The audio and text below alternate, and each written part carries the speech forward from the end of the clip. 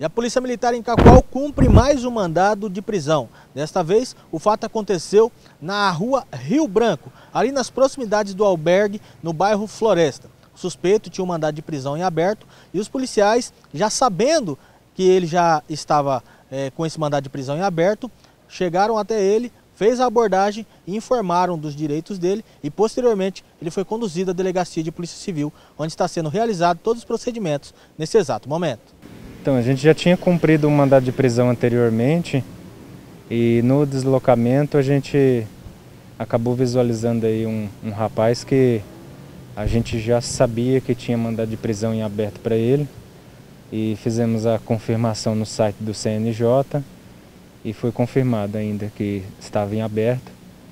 E diante da situação a gente conduziu mesmo aqui para a delegacia para ser feito esse procedimento, que é o laudo de exame de corpo de delito. E posteriormente ele vai ser apresentado agora na casa do albergue aqui em Cacoal. É, inclusive a gente nem verificou ainda a respeito do que ele responde. Mas diz ele que é um processo antigo e já tem umas outras pendências que ele também está respondendo.